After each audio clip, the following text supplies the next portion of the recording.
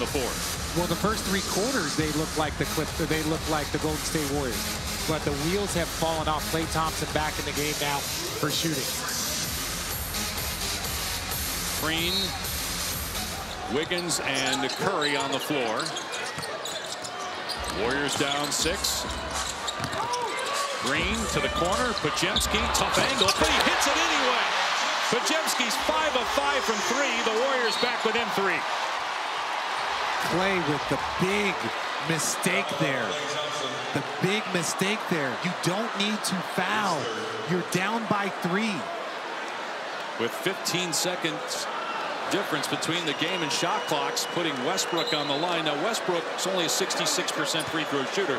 So if you're going to do that, that's the guy to put on the line. But it's obviously not what Steve Kerr wanted. That's not what the game of basketball wanted. You just have to play elite defense there, get a stop. With the three-point shooting you have on the floor, you have...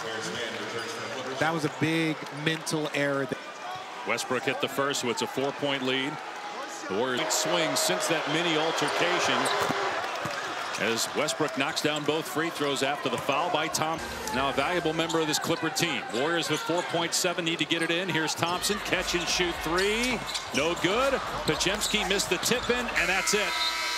The Golden State Warriors five-game win streak is over. The Clippers stay a game out of first with an impressive road win. Their fifth straight win away from home. Back within three. Klay with the big mistake there.